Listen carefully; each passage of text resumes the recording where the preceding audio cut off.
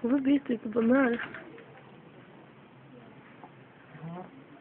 Han biter på den grönsen sen.